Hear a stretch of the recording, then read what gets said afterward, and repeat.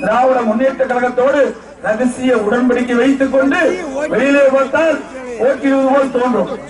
இன்னைக்கு உள்ளே இரண்டு பேரும் ஒன்றாக இணைந்து ரகசிய உடன்பாடு வைத்துக் கொண்டு அண்ணா திராவிட முன்னேற்ற கழக வேட்பாளர் வெற்றி வெற்றி பெறுவதை தடுக்கின்ற வகையிலே இன்றைக்கு அவர் பிரச்சாரம் செய்து கொண்டிருக்கிறார்.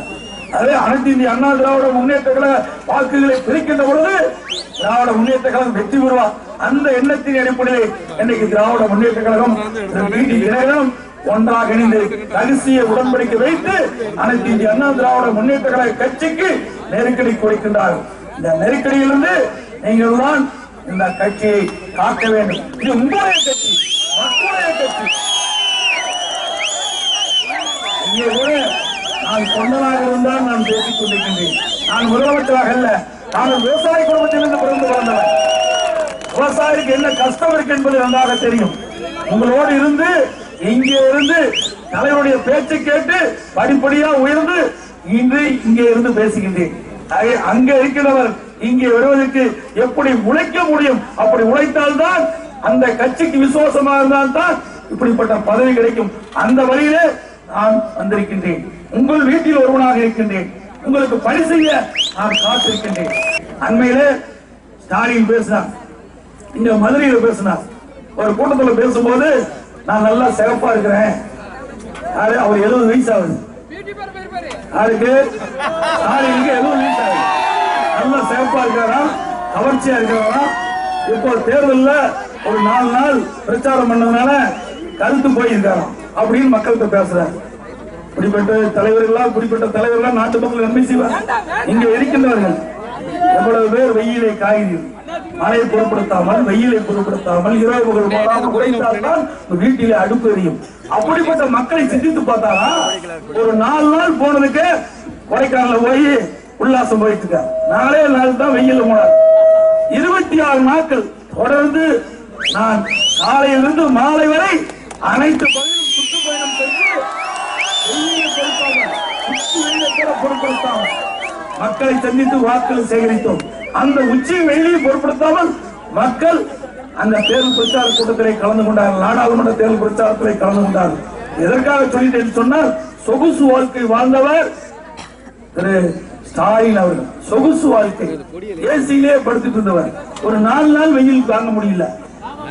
சொல்லுவாங்களே நாலு நாள் வெயில்ல வந்து தாங்க முடியல. நீ ஒரு நாற்பது நாள் வெயில்ல போட்டீங்கன்னா பதவி ராஜினாமா பண்ணிட்டு போயிடும் வேண்டாண்டு ஆகவே அப்படிப்பட்ட தலைவர்கள்லாம் இங்க இருக்கிற மக்களுடைய கஷ்ட நஷ்டங்களை தெரியாதவன். அதே நாங்கெல்லாம் உங்களோட இருந்து பழகி வந்தவன் ஏன்னா நான் கிராமத்திலே பிறந்து வளர்ந்து கிராம மக்களோடு இணைந்து வாழ்க்கை நடத்தியவன். அதே கிராமத்தில் என்ன கஷ்டம் இருக்கின்றது அவருடைய இன்னல்கள் என்ன துன்பங்கள் என்ன அதையெல்லாம் களைகின்ற நிலையிலே நான் அனுபவித்திருக்கின்றேன். அந்த அனுபவ நிதியாக எங்களுடைய அரசு இங்க இருக்கின்ற மக்களுக்கு தேவையான அத்தனை திட்டமும் நிறைவேற்றிய தீர்மானம் அது மட்டும் இல்ல ஸ்டாலின் போற இடத்தெல்லாம் டி ஷர்ட் போட்டுக்கிட்டு பேண்ட் போட்டுட்டு போயிட்டு பாத்தீங்கன்னா எல்லா டிவிலையும் பார்த்திருப்பீங்க. எழுபது வயசு ஆகி போச்சு. எழுபது வயசு ஆகி எனக்கு இருபத்தஞ்சு வயசு இளைஞர் மாதிரி என்ன எண்ணம்? இருபத்தஞ்சு வயசு இளைஞர் மாதிரி எண்ணம். டி ஷர்ட் போட்டு பேண்ட் போட்டுக்கிட்டு எல்லா மக்களை போய் சந்திச்சுட்டு இருக்காங்க பொன்மனச்சம்பல் புரட்சி தலைவர் எம்ஜிஆர் கூட எங்கேயுமே இப்படி பேசிட்டு கிடையாது. அதோடய ஒரு அழகா இருக்காரு. அவர் எந்த கூட்டத்தையுமே தன்னை பற்றி பேசிய வரலாறே கிடையாது. எங்கேயாவது ஒரு நல்ல ட்ரெஸ் போட்டுட்டு போனா கிராமத்துல நல்ல நல்ல ட்ரெஸ் போட்டுட்டு போனா எல்லாம் பாரு எம்ஜிஆர் மாதிரி போகுன்னு சொல்லுவாங்க.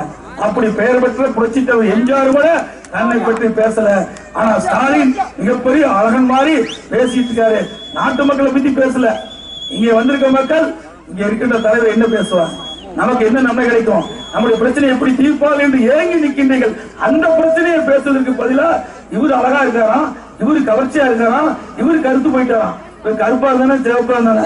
மக்களுக்கு நன்மை செய்ய வேண்டும் என்பதுதான் மக்களுடைய எண்ணம். அது அந்த எண்ணத்தை நாங்கள் நிறைவேற்றுவோம். மக்களுடைய எண்ணங்களை பிரதிபலிக்கின்ற கட்சி என்று அனைத்து அண்ணா திராவிட முன்னேற்ற கழக கட்சி எங்களுடைய அந்த மக்களுடைய எண்ணங்களை நிறைவேற்றுகின்ற இயக்கம் அனைத்து அண்ணா திராவிட முன்னேற்ற கழக இயக்கம் என்பதை நேரத்தில் தெரிவித்து வருவேன் இன்னைக்கு சாலையில் போறவங்கெல்லாம் பேசிட்டு இருக்காங்க. கேபிள் டிவி ஆரம்பத்தோட அதை முடக்க வேண்டும் என்று திமுக அரசாங்கம் தான் முயற்சி ஏன்னா எல்லா டிவி சேனலும் விட்டு தான் இருக்குது. எல்லா டிவி சேனல் எல்லாம் இன்னைக்கு தயாநிதி குடும்ப தயாநிதி மாறன் குடும்பத்திட்டையும் ஸ்டாலின் குடும்பத்துக்கு தான் நாற்பது டிவி சேனல் நாற்பது டிவி சேனல் அந்த குடும்பத்துக்கு தான் இருக்குது. அவர் போய் பேசுறாரு. டிவி சேனல் கட்டணத்தை உயர்த்திட்டாங்க. நீ குறையுப்பா டிவி கூட உங்கள்கிட்ட இருக்குது. சன் குழுமம்னு வச்சுக்கிட்டு சன் குடும்பம்னு வச்சுட்டு தயாநிதி மாறன் குடும்பம் அவர் டிவி எல்லாம் பார்க்கணும்னா சீரியல் பார்க்கணும்னா ஐம்பத்தி ஆறு ரூபா பணம் கட்டா தான் பார்க்க முடியும். பேசுறாரு ஸ்டாலின். பண வசூல் பிறந்தாரு அது குடும்பம். இப்படி மக்களை ஏமாற்றி இன்றைக்கு கொள்ளையடிக்கிற குடும்பம் இன்னைக்கு ஸ்டாலினுடைய குடும்பம் தயாநிதி மாறன் குடும்பம். அவர்கள் பேசுறாங்க நாங்கள் தேர்ந்தெடுக்கப்பட்ட ஆட்சி அமைச்சா ஆட்சி அமைக்க மாட்டேங்க அதுவே விஷயம். பேசுறது பொய் அத்தனையும். இது சட்டமன்ற இடைத்தேர்தல். நீங்க எப்படி குழப்பீங்க? ஆட்சியில் இருக்குது அனைத்து அண்ணா திராவிட முன்னேற்ற கழகம். நான் முதலமைச்சரா இருக்கிறேன். சார் மணிகண்டன் அமைச்சரா இருக்காரு. கடம்பூர் ராஜ் அமைச்சரா இருக்காரு. நாங்க உத்தரவு போட்டா செயல்படுத்த முடியும். நீ எதிர்கட்சியா இருக்கிற? நீ எப்படி உத்தரவு போட்டு செல்ல முடியாம? என்ன பாருங்க எப்படி பச்சை பொய். இவரு தேர்தல் அறிக்கை வெளியிடலாம் எப்படி தேர்தல் அறிக்கை விட்டா அறிக்கை வெளியிட்டா நடைமுறைப்படுத்த முடியும்? ஆட்சியில் இருக்கிறவங்க நடைமுறைப்படுத்த முடியும். இது ஒரு இடைத்தேர்தல். ஆக இது பொது தேர்தல் அல்ல. இப்படி எல்லாம் மக்களை ஏமாற்றி பொய் அறிக்கை வெளியிட்டு பொய் தேர்தல் அறிக்கை வெளியிட்டு கொள்ளைப்படுத்தினால உங்களுடைய ஓட்டுகளை பெறுவதற்காக இன்னைக்கு அரசியல் நாடமாடுகின்ற தலைவர் திமுக தலைவர் ஸ்டாலின். இன்னைக்கு இவ்வளவு பேக்கேஜ் என்று மாதந்தோறும் ஐம்பத்தி ஆறு ரூபாய் இன்னைக்கு கட்டினா தான் அந்த சன் குழுமத்தில் இருக்கின்ற அந்த தொலைக்காட்சியில் இருக்கிற சீரியலை பார்க்க முடியும். அந்த செய்திகளை பார்க்க முடியும். முதல்ல நீங்க குறைங்கப்பா. நீங்க இலவசமா கொடுங்க. தானா குறைஞ்சு போயிருது. நீங்க குறைச்சிங்கன்னா எல்லா டிவி சேனல்காரும் குறைச்சிருவாங்க. அப்ப தானா குறைஞ்சிருது. இருந்தாலும் எங்களுடைய அரசு இன்னைக்கு மத்திய அரசிலே போராடி இதை தெரிவித்து நூறு ரூபாய் ஏற்கனவே வசூல் செய்யப்பட்டது. அதே நிலையை கொண்டு வருவதற்கு எங்களுடைய அரசு நடவடிக்கை எடுக்கப்படும் என்பதை நேரத்தில் கேட்குது. டிவி சேனல் கட்டணம் பழையபடியே நூறு ரூபாய் கொள்வதற்கு நடவடிக்கை எடுக்கப்படும். நான்கு அம்மாவோடு தான் அந்த திட்டத்தை கொண்டு வந்தாங்க. ஏன்னா அந்த திட்டத்தில் முழுவதும் கொள்ளையடிப்பது திராவிட முன்னேற்ற கழக தலைவர் ஸ்டாலின் குடும்பமும் தயாநிதி மாறன் குடும்பம் தான் இவ்வளவு டிவி சேனல் வச்சுக்கிட்டு மக்கள்கிட்ட பணத்தை உறிஞ்சி இன்னைக்கு அவருடைய கஜானாவுக்கு போயிட்டு இருக்குது. அதை தடுத்துக்கிற கட்சியா எங்களுக்கு கட்சி இருக்கும். க- அரசு எங்களுடைய அரசா இருக்கும்படி நேரத்தில் சுட்டிக்காட்டி இந்த பகுதியில் பல்வேறு திட்டப்பணிகளை நிறைவேற்றுகின்றோம். வல்லநாடு களியாவூர் மற்றும் மணக்கரை சாலையில நாலு சாலை பணிகள் பத்து கிலோமீட்டர்ல பத்து கிலோமீட்டர் நேரத்திற்கு இரண்டரை கோடி மதிப்பீட்டுல ஒப்பந்தம் போடப்பட்டு அகலப்படுத்தும் அகலப்படுத்தும் மேம்படுத்தும் பணிகள் பல நடைபெற்று வருகிறது. இங்க இருக்கின்ற மக்கள் வைத்த கோரிக்கை அடிப்படையிலே இந்த சாலை பணிகள் இன்னைக்கு துவங்கி இருக்கின்றது. வல்லநாடு கீழ்ப்பகுதியில ஏழு லட்சம் மதிப்பீட்டுல அங்கன்வாடி அங்கன்வாடி அங்கன்வாடி மைய கட்டிடம் இன்னைக்கு கட்டப்பட்டுள்ளது. வல்லநாடு கிராமம் அகரம் குடியிருப்புல ஆயிரத்தி இருநூத்தி இருபத்தி எட்டு லட்சம் மதிப்பில் தாமிரபரணி ஆற்றின் குறுக்கு தடுப்பணை கட்டுமணிக்கு நிர்வாக ஒப்புதல் வழங்கப்பட்டுள்ளது. இந்த தடுப்பணையின் மூலமாக இந்த பகுதியில் இந்த விவசாயிகள் நலம் பெறுவார்கள். நான் ஏற்கனவே சொன்னது போல கிட்டத்தட்ட பனிரெண்டே கோடி பனிரெண்டே கோடியில தாமிரபரணி ஆற்றின் குறுக்கே இந்த வல்லநாடு கிராமம் அகரம் குடியிருப்பு பகுதியில ஒரு அருமையான தடுப்பணை கட்டலாம். அப்படி தடுப்பணை கட்டுகின்ற பொழுது பருவ காலங்களில் பெய்கின்ற மழை முழுவதும் அங்கே சேமித்து வைக்கப்படும். இதனால் இந்த பகுதி மக்கள் பயன்பெறுவார்கள் என்பதையும் நேரத்தில் தெரிவிக்க விரும்புகின்றேன் அதே போல நபார்ட் திட்டத்தின் கீழ் ஐம்பத்தி ஆறு லட்சம் ரூபாயில வல்லநாடு முறப்பநாடு சாலை பணிகள் மேற்கொள்ளப்பட்டுள்ளது. வடநாடு கிராமத்தில் கருகுளம் கூட்டுக்குடி திட்டத்தின் மூலமாக ஒரு லட்சத்தி நாற்பத்தி மூணு லட்சம் லிட்டர் குடிநீர் குடிநீர் விநியோகம் இன்னைக்கு செயல்படுத்தப்பட்டு வருகிறது என்பதை நேரத்தில் தெரிவித்து அதேபோல வடநாடு அரசு மேல்நிலைப்பள்ளி மாணவர்கள் மேல்நிலை தேர்வு எழுத புதுக்கோட்டை செல்கின்றனர். அதற்கான மையத்தை மதுநாடு பள்ளியிலே அமைக்க நம்முடைய அரசு நடவடிக்கை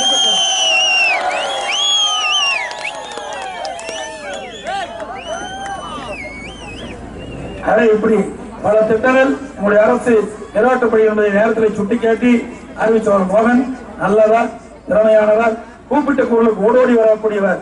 நீங்கள் வைக்கின்ற கோரிக்கை அரசுடைய கவனத்திற்கு கொண்டு வந்து நிறைவேற்றக்கூடிய நல்ல கழக வேட்பாளர் கூட்டணி கட்சியுடைய ஆதரவோடு போட்டியிட அறிவித்தவர் மோகன் அவர்களுக்கு இரண்டு லட்சத்திலே வாக்களித்து அவரை வெற்றி பெற செய்வதுமாய் நீகரம் கூட்டிய முறையெல்லாம் வேண்டி கேட்டுக்கொள்கிறேன் இது உங்களுடைய அரசு மக்களுடைய அரசு மக்களுடைய திட்டங்களை மக்களுடைய பணிகளை நிறைவேற்றுவதற்கு அவருக்கு ஒரு நல்ல வாய்ப்பை தாருங்கள் தாருங்கள் என்று சொல்லி வாக்களிப்பு இரட்டல சின்னம் வாக்களிப்பு இரட்டல சின்னம். நமது சின்னம்!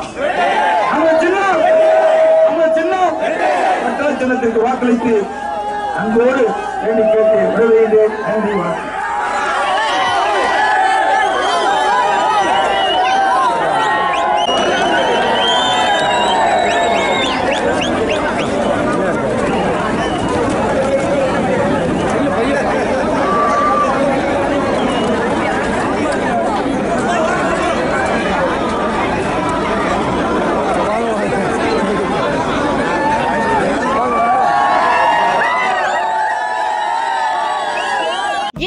உங்களுக்கு பிடிச்சிருந்தா ப்ளீஸ் லைக் அண்ட் ஷேர் பண்ணுங்க. மறக்காம எங்க சேனலை சப்ஸ்கிரைபும் பண்ணுங்க.